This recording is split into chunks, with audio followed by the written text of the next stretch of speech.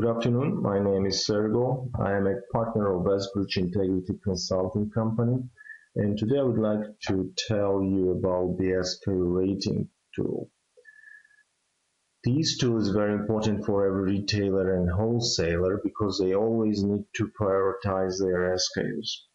Uh, this tool also gives you the possibility to rate SKUs based on two options two different options. First one is ABC analysis and another one is score rating. Why score rating is added to this tool? Because ABC analysis has some drawbacks. For example, it does not take into consideration the cost of capital. It does not take into consideration the SKU turnover and it does not take into consideration the profitability of SKU. That's why the score rating is added to this tool, which gives the very precise picture for the SKU rate rating. Let's go to sheet SKU and uh, see how this file works. All you have to do is fill in only the yellow cells, even if there is a formula in there. We insert the historical period into these cells we insert forecast period into these cells. Here we select the currency and here we insert the annual cost of capital.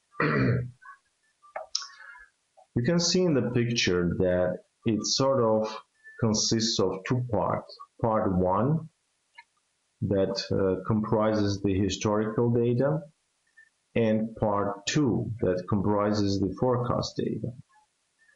This tool is very flexible and gives you possibility to rate SKUs either based on historical data or forecast data. It is up to you to choose which one you want to use.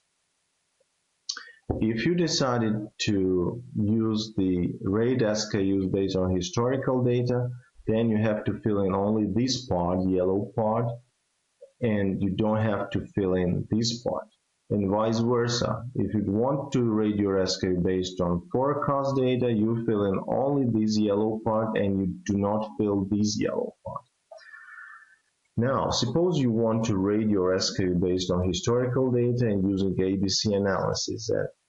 Then you only have to click on this button and look what happens with this column. Let's go. Here we go. We got ABC rating based on historical data.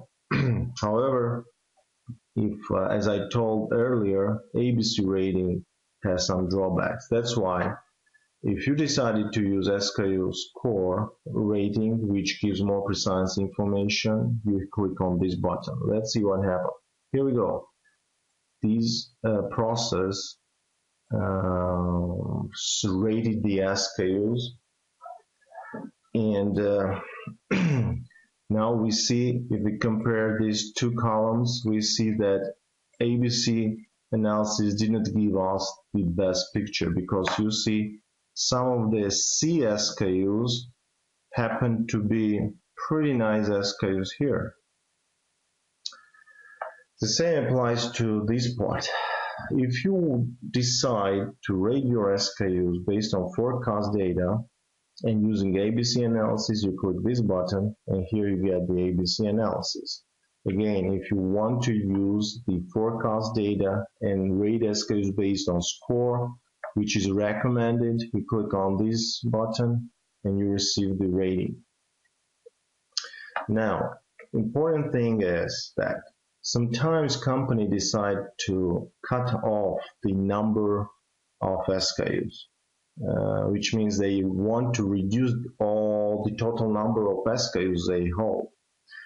In this case, you have to decide, you have to set a criteria below which all the bad SKUs will be cut off. This area should be inserted in this cell, H14 for the historical data, or cell AH14 for the forecast data. For example, you decide that you want to cut off bad SKUs that fall into 10 percentile group. Then you insert 10 here and you see that the bad SKUs falling under that 10% percentile group will be highlighted in red.